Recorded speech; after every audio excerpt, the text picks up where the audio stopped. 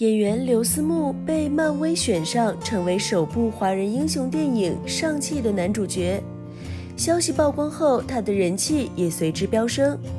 不过，有部分漫画迷却炮轰他并不适合饰演该角，甚至开始攻击他的颜值。没想到，这也让刘思慕开始怀疑起自己，还发文询问：“我真的很丑吗？”不少网友看了以后也随即留言安慰，让他不要放在心上。非凡娱乐实时报道。